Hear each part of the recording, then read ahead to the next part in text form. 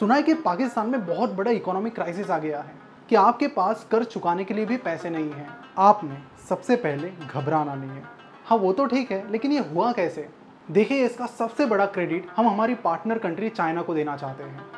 Recently हमने इस्लामाबाद में एक नया एयरपोर्ट बनाया, जिसका 2.6 बिलियन डॉलर का कॉन्ट्रैक्ट हमने Chinese company Chinese construction third degree bureau को दिया। और फिर क्या? इनोग्रेशन से पहले ही एयरपोर्ट का छत गिर गया। इस पूरे प्रोजेक्ट में करप्शन करने में हमारी मदद की हमारे तेरह काबिल आर्मी और मार्शल ऑफिसर्स ने। बात यहीं पर नहीं रुकी। रिसेंटली हमने चाइना के साथ चाइना पाकिस्तान इकोनॉमिक कॉरिडोर की शुरुआत की। यहाँ पर हमने जो इलेक्ट्रिक ट्रांसमिशन लाइंस बनाई है, उसका खर्चा इंडिया के सिमिलर प्रोजेक्ट से 265 परसेंट से ज़्यादा है। यहाँ पर भी हमारे कई सारे काबिल मिनिस्टर्स ने करप्शन करने में हमारी हेल्प की। और इसी के चलते हमें बहुत प्राउड है कि हमने सबने मिलकर हमारा करप्शन परसेप्शन स्कोर बहुत खराब कर दिया है।